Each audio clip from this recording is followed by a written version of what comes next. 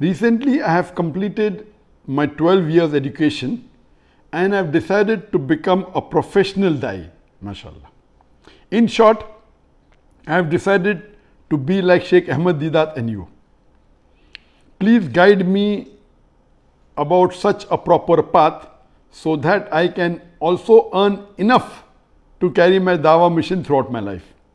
My parents are blessed enough to send me abroad for study.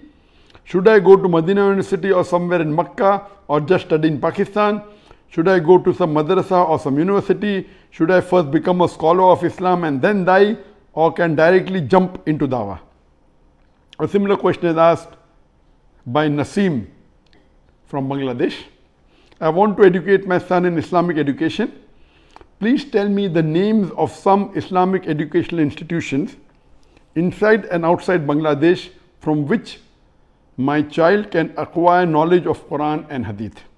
I want my child to acquire the highest knowledge of Islam in the light of Quran and Sunnah. As far as these questions asked is concerned, in the first question, the first part of the question was that how can that I want to become a professional dai, so how can I earn my living so that I can continue doing my profession of dawah? And this question was asked to me during the last session. I'll just repeat in brief.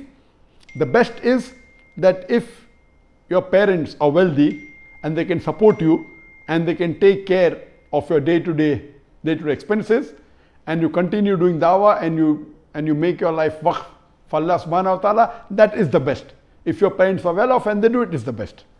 Number two, the second best can be that if Allah has given you that acumen and, and that knack of doing business and being successful in business, you can spend a small portion of your time, maybe 5% of your time, in doing some business as a small part time, which can get you sufficient money so that you can lead your life. As far as I'm concerned, mashallah, in the initial stages, my, my parents supported me fully, completely financially. They said, You need not do any profession.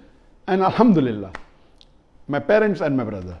And later on, I started doing my own business and I used to spend about a few hours a week. Not during office time, during, you know, normally people have one or two days off in a week. In a one day off, a few hours in a week, maybe one or two days in a month. And that time I used to do business. And in that business, Allah blessed me so much that I started earning more than my parents, more than my brother. And Alhamdulillah, I have to utilize a small portion of it for my family and the major portion has to give in charity. So first is your family, if they can support you, number one. Second is you can do a business if Allah has given the acumen. And the best example is of, of the Sahaba, Abdurrahman bin Auf. May Allah be pleased with him. People used to say that whatever we touched, it became gold. When, when they migrated, the Sahabas to Medina, and when the Ansar were willing to help them, he said, no, show me the place to the market. He went to the market and came back with enough wealth because Allah had given him that gift. Number three, as I mentioned earlier, is that the rich Muslims can make a fund for supporting the dais, the duats, so that they need not worry about the living and they support them so the rich people get the sawab of the dawa which the dais are doing without the sawab of the dai reducing. Number four, you can join an organization you can join an Islamic organization which is of your school of thought, which is according to Quran and Sunnah. You join them, and if they can pay you a salary, even it may be less than the others, you're doing both together. You're doing dawah in the organization and even getting a salary.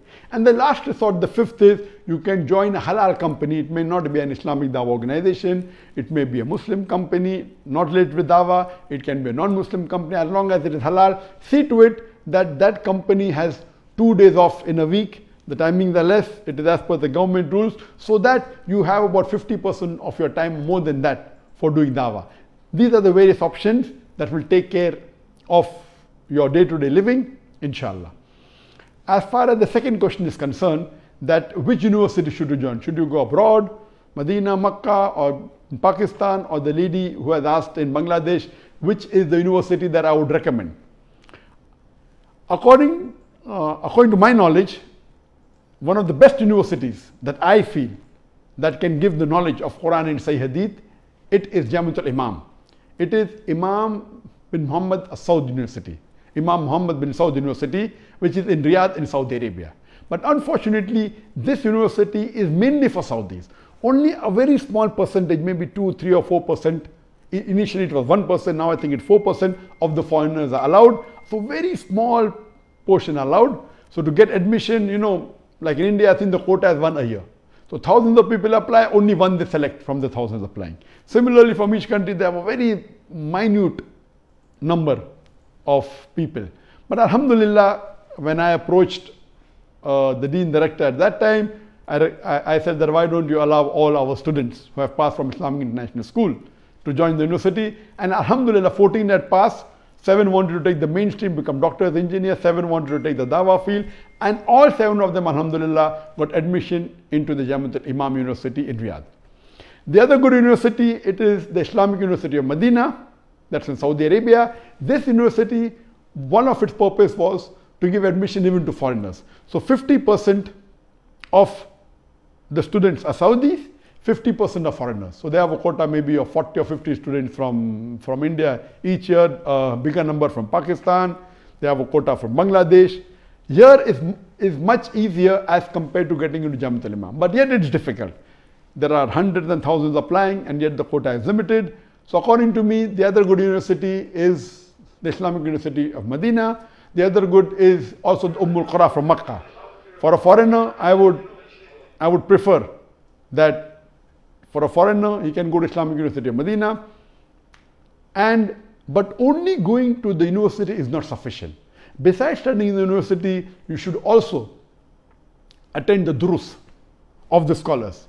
There are many scholars giving durus, giving uh, lectures, taking sessions in in Medina, in the Prophet's mosque, outside, even in in Makkah, and even in Riyadh. The Kubar ulma, there are many great scholars in Riyadh. And even in Riyadh, UK. So the, one of the things is besides going to university, I would also recommend that you attend the durus of the great scholars. This will help you more than studying in university. So doing simultaneously, it is, it is the best. So I recommend that you can go to any, any of these university.